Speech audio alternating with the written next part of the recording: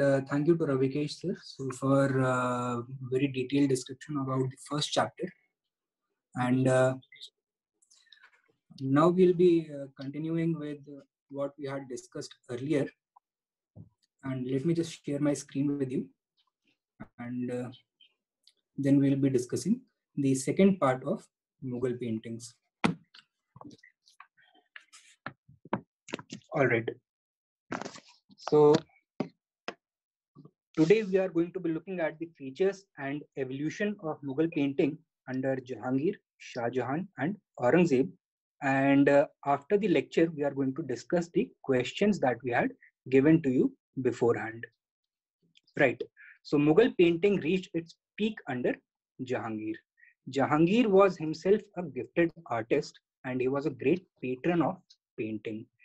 In the Tuzuke Jahangiri, that is his autobiography, Jahangir has said that he had the ability to identify the different painters who had made a painting simply by looking at the brush strokes of their paint. So that was his ability when it came to painting. It would be natural that he would uh, promote this uh, art form. Achha. Under him, Persian and Indian art became fully synthesized. A number of new elements emerged. European influence became predominant, and the earlier focus, which was on book illustrations, shifted away towards portrait paintings and scenes from nature. Apart from this, the popular or provincial Mughal school of painting also emerged. So let us look at these one by one. First, the new elements which emerged under Jahangir. Jahangir's paintings were a blend of naturalism and idealism. Naturalism, agar मैं बोलता हूँ, so it means accurately depicting the subject according to the laws of nature. And idealism is the idealistic interpretation of the subject by the painter. For example, in the real world, you are not going to find any angels walking around in the road, but the sultan or the emperor can be shown along with some angels. So that is idealism. Another important element was that human emotions were given a lot of importance. Now, because of this, the paintings under Jahangir became very lifelike. Fine brushwork and lighter colors were used, and Hashia art became important. Hashia was the border or margin around the painting, and under Jahangir, it was ornately decorated. So you can look at the painting on your left It is a portrait of Jahangir holding another portrait that is of the Virgin Mary. But this is not the complete picture. Here you will find the broad, intricately decorated margin that is the Hashia. So Hashia art emerged as its own art form. And apart from this, a new technique called Neem Kalam was introduced. Neem in Persian means half. आप लोगों ने कहावत सुनी होगी कि नीम हकीम खतरे जान सो so, आधा हकीम जो होता है, उसकी वजह से जान को खतरा हो सकता है। तो ऐसे ही नीम कलम मतलब half pen half pen why क्योंकि आधी पेंटिंग पेन से बनाई जाती थी। इसका क्या मतलब हुआ? कि पहले outline of the figures pen से बनाए जाते थे, उसके ऊपर डाइल्यूटेड कलर्स को ब्रश से पेंट किया जाता था। एंड देन पूरी पेंटिंग को हाईलाइट किया जाता था। इंपॉर्टेंट एलिमेंट्स को through the use of bold colours and gold so this was known as nim qalam. अच्छा European influence also became very prominent because of closer contact with Europeans these influences included single point perspective. Single point perspective matlab ki the painting has been made from the point of view of a single observer. So, आपको उसमें अलग अलग perspective देखने को नहीं मिलेगा। एक हो सकता है कि सेम पेंटिंग में सामने से कोई चीज़ देखने को मिल रही है, कोई चीज़ ऊपर से देखने को मिल रही है तो ऐसा नहीं होता था। So this was a European influence which was introduced under Jahangir halo was shown around the head of the sultan uh, of the emperor roaring clouds putai and european clothes were also shown putai is the plural of the word puto आप लोगों ने Valentine's day तो celebrate किया होगा तो उसमें आपने एक वेरी पॉपुलर फिगर देखा होगा क्यूपिड का सो so, क्यूपिड जो होता है it is a category of an angel known as a cherub तो इसके कैरेक्टरिस्टिक्स क्या होते हैं? ये हमेशा बच्चे की तरह दिखाया जाता है, इसके विंग्स होते हैं और हाथ में धनुष बाढ़ लिए रहता है। So that is called a cherub इसको इटालियन में प्यूटो बोलते हैं और इसका प्लूरल होता है प्यूटाई तो ये एलिमेंट अब मुगल पेंटिंग्स में इंट्रोड्यूस कर दिया गया। अनदर इंपॉर्टेंट एलिमेंट वाज कि यूरोपियन पेंटिंग्स के कॉपीज इंडिया में बनने लगे। Jahangir use to receive several gifts and collected a number of European original paintings these were copied at a large scale Jahangir के court में एक English resident था his name was sir thomas rowe he has also praised the quality of indian painters and their skill in copying the works of the european masters moving ahead book illustrations we know कि इस पे main focus नहीं था practice was that earlier works में नई paintings को add किया जाता था very few original works were created however some are mention worthy such as the Ayare Danish which was a book of animal fables the Anware Sunavli a book of fables the Tuzuke Jahangiri which was Jahangir's autobiography, and Babarnama, which was re-illustrated during Jahangir's reign. Now you might remember from the previous class कि बाबरनामा को अकबर ने भी illustrate करवाया था. Portrait painting reached new heights under Jahangir. There were several themes such as the portrait of the emperor, the empress, a number of nobles, fakirs, Sufi saints, Hindu gurus, dancers, soldiers, lovers, and artists. Apart from this, Jahangir की life के important events को भी paint किया गया. For example, his coronation ceremony, the ceremony of Jharokha Darshan. Jharokha Darshan uh, was when the emperor used to come to his balcony window in order to bless the common people. So it was a belief during the Mughal period that uh, uh, this was happening. And uh, this was this practice was started by akbar. Tuladan ceremony on his birthday. So in this painting you can see jahangir and shah jahan. Shah jahan is on one end of the scale. On on the other end of the scale there are purses filled with gold and uh, precious jewelry other festivals such as Holi and Nowruz were also depicted in these paintings. Uh, the master of portrait painting were Abul Hassan and Bishan Das. Abul Hassan had been given the title Nadir Zama, that is the wonder of the age by uh, Jahangir. Uh, Jahangir was also a keen naturalist, and a number of scenes of natural beauty, birds, animals, fruits, and flowers were also painted during his reign. So he was very curious about the new elements that he uh, observed in nature and all the exotic flora and fauna that he came across. He ordered it to be painted. Some of the important paintings are that of the now extinct dodo, the Siberian crane, the nilgai, the hornbill, a pair of vultures, a chameleon, a tulip blossom from Kashmir, a pheasant, a zebra, and a turkey. Uh, the master painter in this genre was Ustad Mansur. Mansur had been given the title Nadir al-Asr, which also means wonder of the age.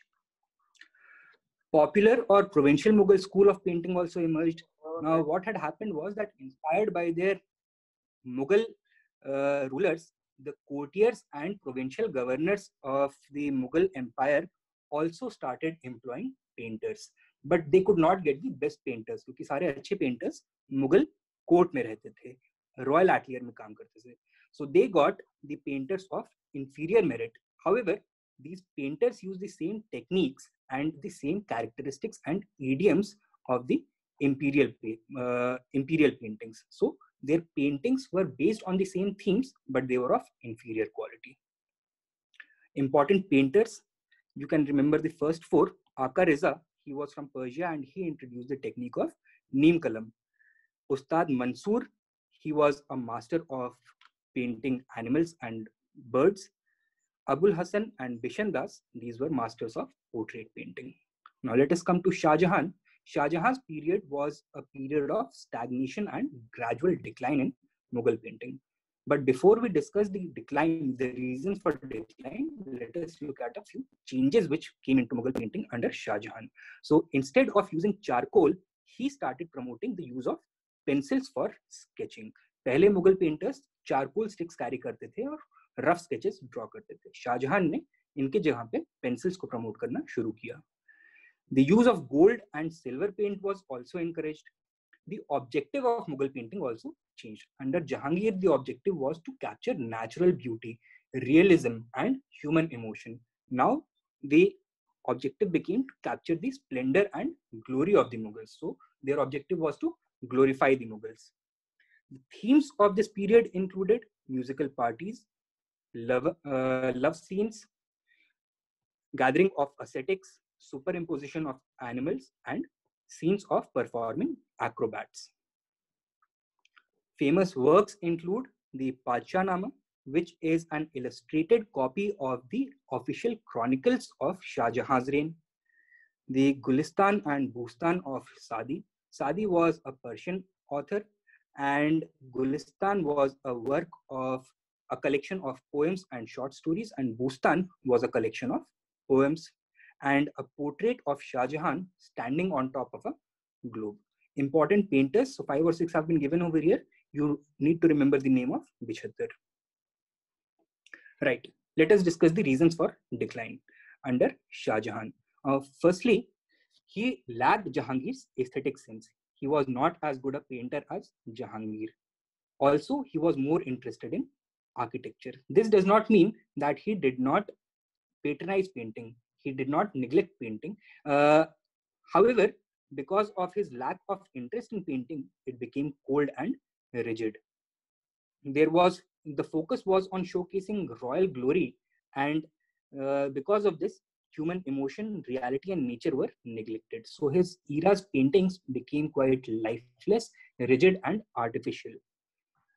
एक practice और start हुई कि existing works में नए figures को या नए faces को ऐड कर देना। तो superimposing of faces and figures on existing works और this made the paintings cohesiveness. Further the overuse of bright colors and gold for decoration distracted the viewer and the painter from the real objectives of the painting. Uh, on your left uh, are some pictures from the Padshahnama this is the first page of the Nama. Here you can see Shah Jahan seated on his uh, peacock throne. And on the second page is a portrait of Amir Timur. Now you might remember Timur was considered by the Mughals to be the founder of their dynasty. They said that they belong to the Timurid dynasty. So they have been shown, the Shah Jahan and uh, Timur have been shown facing each other. Uh, this is a portrait of Shah Jahan not from the uh, Nama. Some elements are worth noticing. For example, on the top margin, you can find a number of angelic cherubs or putai. Behind Shah Jahan, there is a halo which is multicolored. You can also see the roaring clouds. These are all the European elements in this painting. Shah Jahan is holding something in his hand. So what is he holding? So again, he is holding a portrait of himself. So this is again a portrait within a portrait. Some other scenes from the Padshahnama. Here he is accepting the surrender of a defeated king. This is a court scene from the Padshahnama, जहाँ पे शाहजहां को अपने चार बेटों के साथ दिखाया गया है. He is welcoming them at his court. Another court scene. This is a battle scene. Then there is another court scene. And finally, this is Shah Jahan standing on top of the globe. Here you will find many similarities between this painting and an earlier painting under Jahangir. So the style of the painting was copied to a great extent. All right. Now under Aurangzeb, the Mughal school of painting disappeared completely. He dismissed the Mughal atelier. सारे painters को उसने dismiss कर दिया and he shut down the department of painting so Akbar had established a department of painting and this was shut down by Aurangzeb. Why? Because of his religious orthodoxy. So he was uh, uh, an orthodox Muslim, and under Islam, painting is prohibited. So he abolished it, and because of some political constraints. So Shah Jahan had to come to uh, had come to power through a bloody war of succession. In this war of succession, he had been supported by the orthodox Islamic elements and because of this he wanted to appease them so in order to appease them he abolished painting so painters ne kya kiya they started looking for new sources of patronage and they went to the rajput kingdoms of rajasthan and jammu resulting in the emergence of the Rajasthani and Pahadi schools of painting. Apart from this, many Mughal painters received patronage under the courtiers and governors. तो जो popular या provincial Mughal school था, वो भी बहुत तेजी से during the period of Aurangzeb grow karta hai. So this is the history of painting under the Mughals. Uh, we are going to discuss the questions that we had given you later after the video. Thank you. And uh, now I will be shifting you over to Nitish sir once again.